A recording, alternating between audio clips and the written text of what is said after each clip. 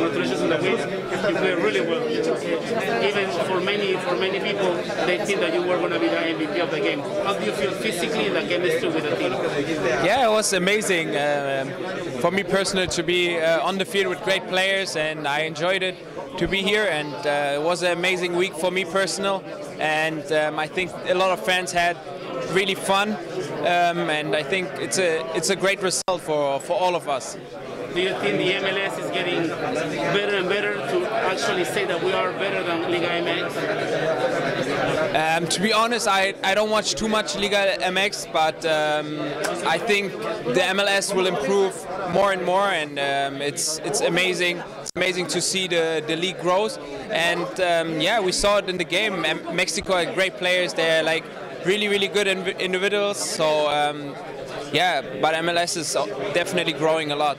I see you doing like chip balls, long balls, short passes. What was the indications from the coach before you go in? Yeah, to, to fill the holes and um, ask for the ball. Right, thank you so much. Thank you. Man, we have the best Mexican player here. I know.